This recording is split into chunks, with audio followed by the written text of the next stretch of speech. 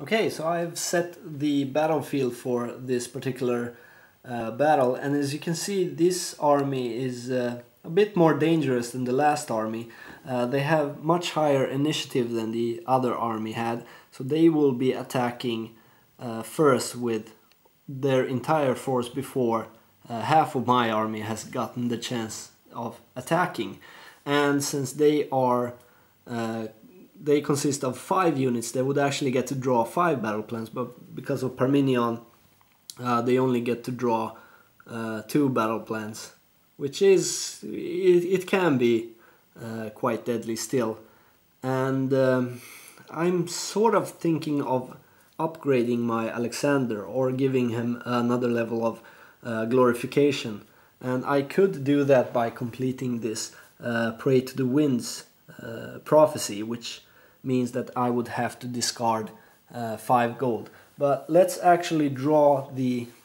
Uh, you, you can do that whenever you want, so this is not timed or you don't have to do it during a specific uh, part of a turn. You can you could do that in the middle of battle. That's how I uh, read the rules anyway. That's how I play it.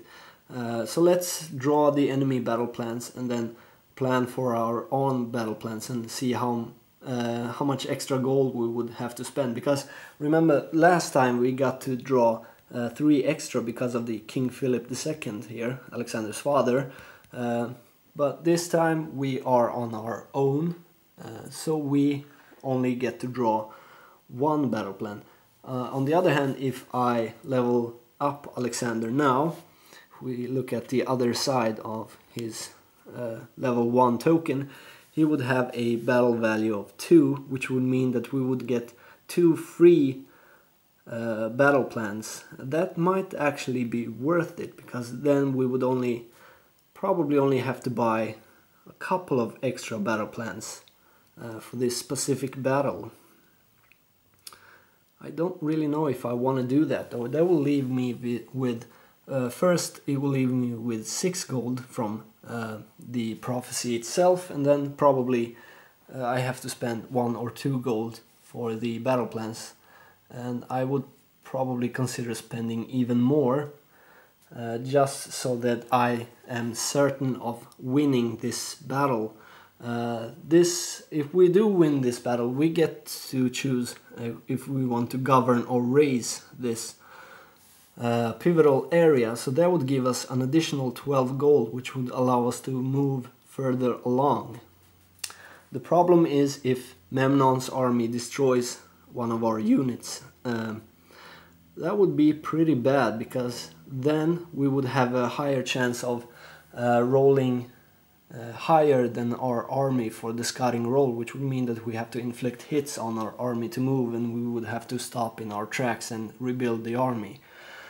But, hmm, well, this is a risky decision.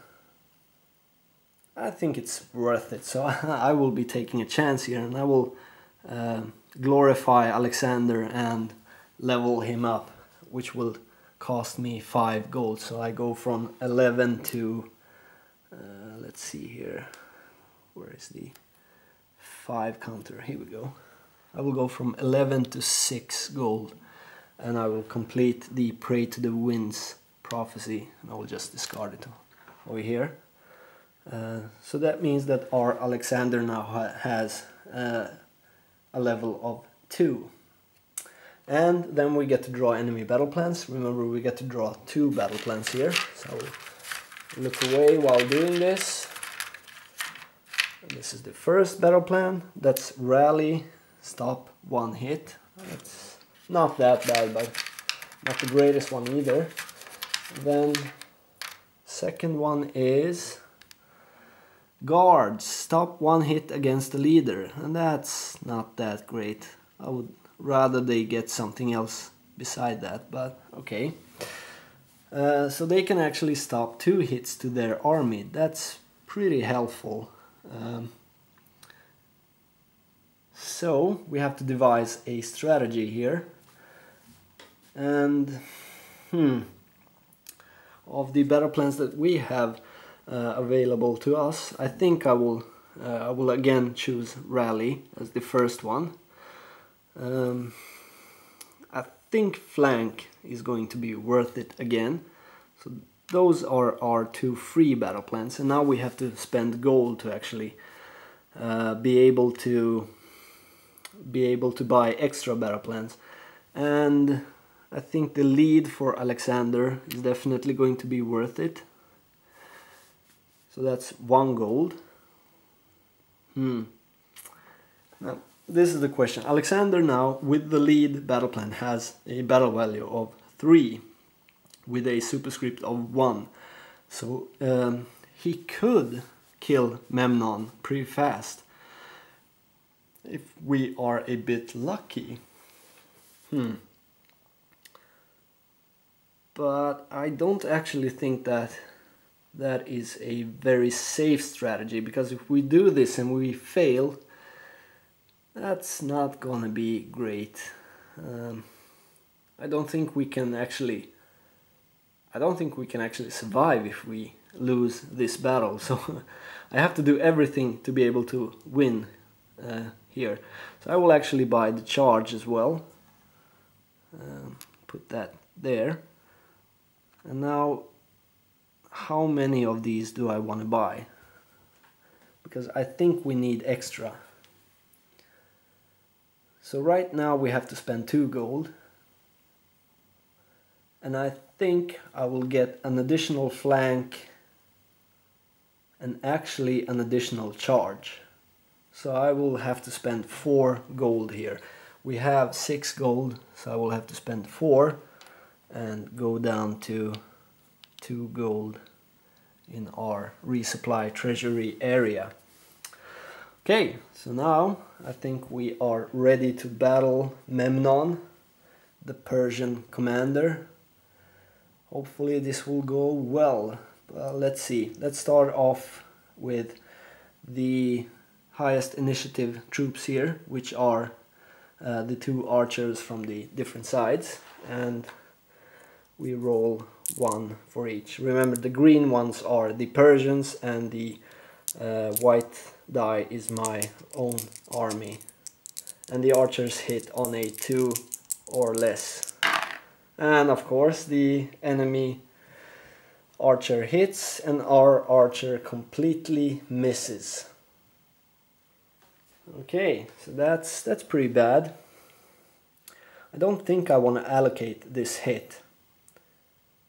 So actually I think I'm gonna use my rally and stop this immediately. This is pretty bad. I think this might have been a mistake, but okay, we move on.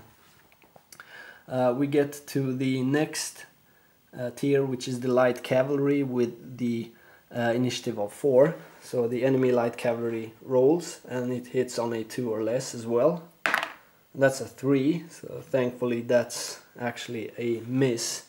And we get to exhaust the enemy cavalry, it cannot attack next turn. So that's great. And then we get to the really interesting part, which is our heavy cavalry against each other. My heavy cavalry is a special heavy cavalry and it attacks on, it hits on a 4 or less, but the enemy heavy cavalry hits on a 3 or less. They also inflict 2 hits if they uh, hit. So let's see. Green enemy, white mine. Come on, heavy cavalry. Well, both hit. And that's pretty bad, but okay. Could be worse, could be a lot worse. Um, yeah. This will ex exhaust their heavy cavalry, so they don't get to attack next turn. Normally the heavy cavalry would be the best target for these hits, but I actually think that I want to kill their infantry and hopefully hopefully my phalanx can inflict some wounds to kill their heavy cavalry but that might also be quite dangerous. Hmm. I don't know. I have to think about this. Okay so I think I've figured something out here. Uh, I'm not quite sure if this is the correct decision, but um, I did forget that I do have the flank, uh, the flank battle plan, and I actually bought two of these and two of the charge battle plans. I should have marked this with some dice, but okay, we, we can remember that I have two of flank and two of charge. Um, so I will use one of these flank and I will actually score one additional hit. You can only use one flank per uh, round, so you, you can't uh, you can't buy five of these and then do six hits with one successful die roll. Uh, but I will deal three hits and I will kill their heavy cavalry. Uh, put that up here with the other troops that have died this turn. And I will kill their archers as well. They remember the archers only can only take one hit so once they have been wounded they are dead. So this is my three hits. And now unfortunately uh, we have to allocate two hits on my troops as well since their heavy cavalry also hit. So I will actually wound my heavy cavalry with one of these hits and it would move down uh, one step since it gets initiative of 2 and it now attacks on a 3 uh, 3 or less. And for the last hit hmm think for the last hit I'm going to kill off my archer my own archer uh, when you when your troops die they just move back to the resupply area. Uh, unless you have the regroup uh, battle plan, then you can put them to the side and or you can use the regroup battle plan immediately and then put them to the side so that you can uh, re-add them to the battlefield. Maybe this would have been smart to have actually. I didn't think of that, but okay, let's move on. Uh, so now this uh, tier will attack, but my heavy cavalry has already attacked. It should actually be exhausted since I haven't. Well, I, I can I can use one of these battle plans right now and uh, ready it again, but it, it still cannot attack. It has already attacked this turn. Oh wait, I did. Oh my god, I forgot the enemy rally uh, ability as well. So. Uh, actually the enemy archers will survive since they will stop one hit. They would probably stop a hit on the heavy cavalry but since I did three hits it doesn't matter the heavy cavalry will die. So now they will use their uh, their battle plan it goes back into the cup. Okay so this is a bit worse than I thought but okay let's let's move on. Uh, now these two guys attack their infantry and their leader so let's roll for that. And they both attack on a 2 or less, so we can roll simultaneously here. let's hope for 2 uh, or 3 plus here. And that's a 1 and a 3, so they do get to score one additional hit. And now this is pretty bad. Yeah, this is pretty bad. Uh, the phalanx is actually it's a really bad idea to wound the phalanx because they move down to um, initiative of zero and then they can only hit on a two or less. So I think the better choice here is to leave the phalanx at full strength and actually kill off my infantry. Sad as it is. Um, I don't really want to do that, but okay. Uh, let's do it. Let's kill off the infantry here. Put it here with the archer. And okay. And we move on. We get to our phalanx and let's hope now that this guy can actually get something done. So we will roll for the phalanx here. It hits on a four or less. And that's a five so that's a complete miss. That's that's pretty terrible but okay. Uh, we then move on to Alexander and he hits on a uh, 3 or less and has a superscript of 1 so if we roll a 1 we can deal 2 damage. So let's hope for the best here then. We need a 3 or less. That's a 5 again so that's complete miss. Alexander misses. And we Hmm. We either get to retreat or move on. Okay. I think yeah let's let's move on uh, so now we get to the second round of this combat and their archers attack again and they hit on a 2 or less let's hope for the best here uh, basically my plan is to have Alexander kill Memnon but okay let's see what happens and that's a 4 so their archer misses their light cavalry is spent it cannot attack but we can ready it for the next turn and then this tier gets to attack. So let's roll for the enemy first. The enemy leader Memnon and the infantry attack. They hit on a 2 or less. And that's a 5 and a 5, so those uh, completely miss. And now let's hope for the best here. Uh, we readied our cavalry with one of our charge uh, battle plans, so now it can attack and it hits only 3 or less. Let's hope for a hit here and that's a 2 that's perfect those are two hits and we will use our last flank uh, battle plan here to deal one additional hit which, which means three hits um, so now we can kill off the enemy light cavalry and the enemy archer. Uh, like so. And now it looks much much better uh, on the battlefield here. Uh, our heavy cavalry is spent and I will yeah I will ready it for the last charge counter here as well uh, so we can attack with it next turn. Okay so then we get to our phalanx which hits on a roll of 4 or less. And that's a 5 again the phalanx misses. This, this is pretty I mean this is pretty sad actually. The phalanx is the backbone of every Greek army.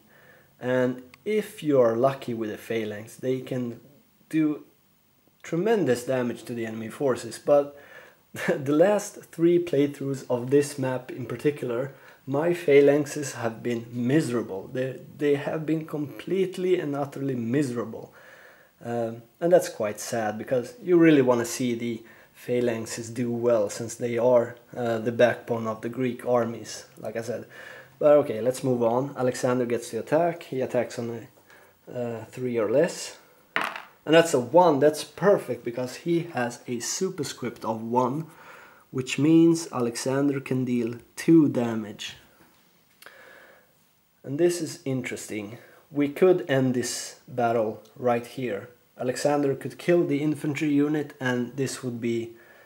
Uh, this battle will be over uh, immediately or we can assign those two hits to uh, Memnon. They can stop one of them, but we would still wound him. And then, we are lucky and are... Um, maybe that was the reason for not uh, readying the heavy cavalry uh, with our charge battle plan because then we could skip attacking with the heavy cavalry and hope that the phalanx doesn't kill the infantry so that Alexander can kill Memnon and we would gain additional glory. But uh, okay, that's not going to happen. And I think instead of risking, uh, instead of risking my units getting damaged further, I will just choose to, yeah, I will choose to kill the infantry unit here, uh, ending the battle since Memnon is left alone on the battlefield and he has to flee. Uh, but we still do get gold for him later on when we resolve uh, the resupply step up there. Okay, so we were successful. We can clean up here. Successful in our battle uh, for Granicus and we have uh, conquered this pivotal area and now we get to decide if we want to um, raise or govern. And I think, well, I don't really know. I need to resupply my army, so I, I would be, I think I will need probably six or eight gold to do that. And then we would probably need a couple of more golds to go down here. So we could do that with mm, We could do that with the 14 gold, which we would have if we choose to raise Granicus. But if we want to be safe, oh well, actually we would gain gold for these guys as well, since we will be ending the turn here. And yeah, let's let's do it. Let's raise this area. I don't have. Um, I will not be taking that many turns uh, to finish this campaign. I hope so. I will raise Granicus, gaining 14 gold or, or 12 gold immediately, putting me up to 14 since we already had uh, two here. So okay, and well, we could do our scouting roll to see what happens. Uh, now we have three units in our army. So let's see what happens here. Let's do a scouting roll. If we get a free move, I might actually consider moving into Sardis uh, and attacking the enemy stronghold. So let's see here. That's a 4. So we would need to inflict one hit on our army to be able to move and I don't think we can do that. So I will choose to stay in Granicus and end my turn. So then the conquest step is complete. We get to resupply, we gain gold. Uh, you would gain 5 gold for each uh, governed city, but since we have raised the both areas that we could have governed, we don't get any gold from that. But we do get, let's see, uh, one, two, three, four from the Greek army up there. And then we get one, two, three, four, five. So we gain nine gold for the destroyed enemy troops, which would bring our supply of gold um, up to 23. So let's do that. Go up to 20. There we go, 23. And uh, something that I should have done immediately after the battle ended, uh, I gained 2 glory for uh, successfully winning a battle. Okay, so now we have 23 gold and 4 glory and we can spend those in the resupply step and we can do that over and over again uh, however we want. I think the first order of business will be to uh, bolster our forces since 3 units is uh, not enough to uh, conquer the remaining strongholds. So, from the available troops, uh, which we can see here, I think I will buy I will buy a phalanx for 4. Uh, the troops cost uh, their battle value. These are Alexander tokens, so you cannot recruit them. Uh, but the other you can recruit. So they cost uh, as much as they have in their battle value. Uh, I will buy one, I think, yeah, I will buy one of these catapults. I could actually buy two of them. That might not be such a bad idea. They only cost, they only cost one. So that would actually be, that's pretty smart, I think. I will buy two catapults and I will explain what these do when we come to uh, an enemy stronghold and why they are important. So that would cost us 6 gold. The question is, do we need another unit? Uh, we will be refitting our companion heavy cavalry uh, at the start of the next turn, but do we need another unit? And that might actually be smart idea. We could get another heavy cavalry and that would cost us 9 gold altogether, leaving us with uh, 14 gold. And I think that's enough to actually move into Sardis and keep on uh, going. So I will buy another heavy cavalry here. Uh, the problem, now you might ask yourself, why don't I just buy uh, more uh, troops as well? Uh, the problem there is with the scouting roll, if you roll uh, a 1, for instance, if I buy these and I roll a 1, I would have to pay 6 gold to be able to move. And the more troops you have, the dangerous it gets. Uh, right now we are immune to um, we are immune to getting, gaining hits or getting hit uh, with our scouting roll, but that basically means that we would have to pay gold each time we want to move. Um, so it might be. Well, the, the thing is, uh, the best option for attacking Sardis is probably just buying these three guys. So we have six uh, troops and we have a chance of rolling a six and be able to move uh, for free uh, into Sardis and if we do roll below six it will not cost us as much. But the problem there is if these troops in Sardis, even though they are weak, if they manage to kill uh, some of our troops, we probably would have to stop and refit and uh, recruit some new troops on our way to Halicarnassus and Lycia down here. Uh, so you have to kind of weigh the uh, weigh the dif different options that you have because my thinking is if I buy these four troops here uh, that I will be able to conquer all three strongholds with these troops uh, in my army.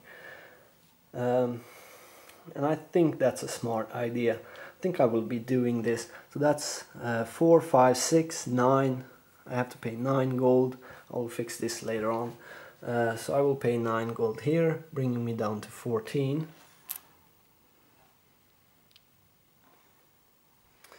So here we go, now we have 14 golds. And I will spend uh, 3 glory uh, drawing an insight. So that brings us down to 1 glory uh, from 4. And I get to draw one insight here. Uh, turn them around a bit. I shuffle these beforehand. So this is our insight. Let's see what it is it says enemy does not draw battle plans. Now that's not really helpful since we have Parmenion. So okay, a bit wasted, but whatever. Um, yeah, I think that was a bit wasted, but okay. Let's move on. So that is our turn and I will come back with the next turn shortly.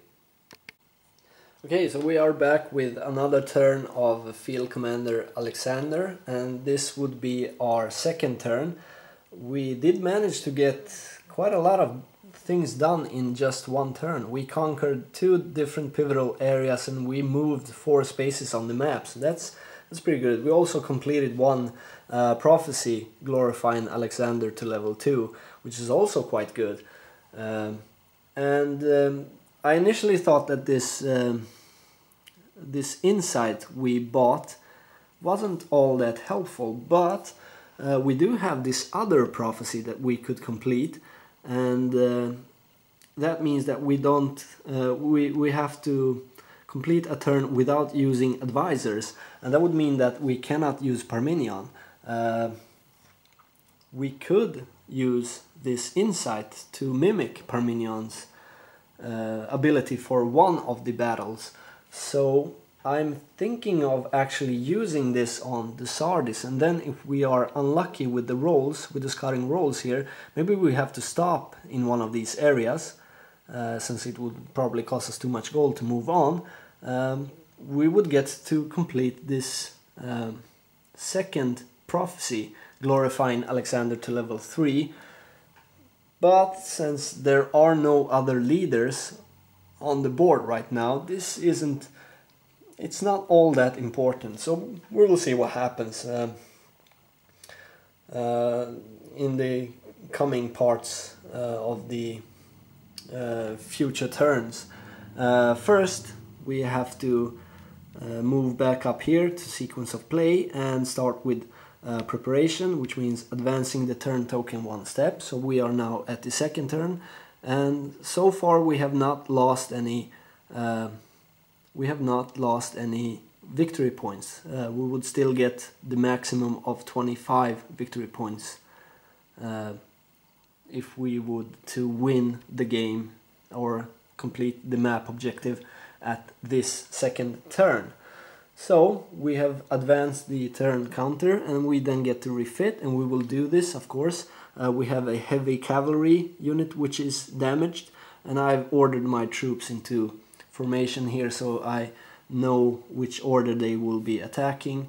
Uh, the ballistas or siege engines have a uh, initiative value of 6 so they always get to attack first which is great for walls which we will see in the upcoming battles. But I will choose to refit my uh, heavy cavalry moving it back to initiative value of 3 and uh, healing its wound uh, so that it can attack at full strength. And that would cost me 2 uh, 2 gold for each unit that I, that I refit uh, bringing me down to 12 gold from 14 here.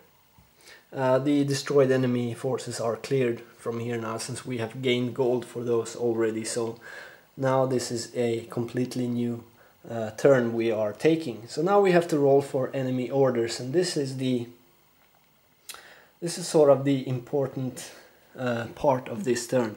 The enemy orders and the enemy operations. This could either go well or we can uh, really make this harder for ourselves depending on what we roll here. Well, let's see. We begin by rolling for Sardis and we are now just one space from Sardis. So we just add one to our roll. So let's see. That's a 2 plus 1 is 3. So that means that Sardis, Sardis gets one additional wall. And that's pretty bad actually. Uh, so now Sardis has two walls. Uh, just briefly to explain what walls do. Um, they are considered forces, so they will draw enemy battle plans at the beginning of the battle. And they also give attacking forces minus 2 on attack. Um, and that's pretty bad these if there are several walls on in one place you combine them so these will would give minus 4 uh, to my troops which would mean that none of my troops could attack uh, that's why uh, these siege engines are really important these regular troops could not attack but the siege engines get plus 2 against walls so they are basically unaffected um, by uh, by wall attacks. Okay. So uh, they get plus two on their battle value, so they have a battle value of three, and they are also unaffected by the walls here. So they will, uh, even though there could be five walls here, they will still uh, have a battle value of three, um, and that's the basically the only way to deal with multiple walls since none of my uh, troops could attack through walls. If there was only one wall here uh, I could actually attack through that wall.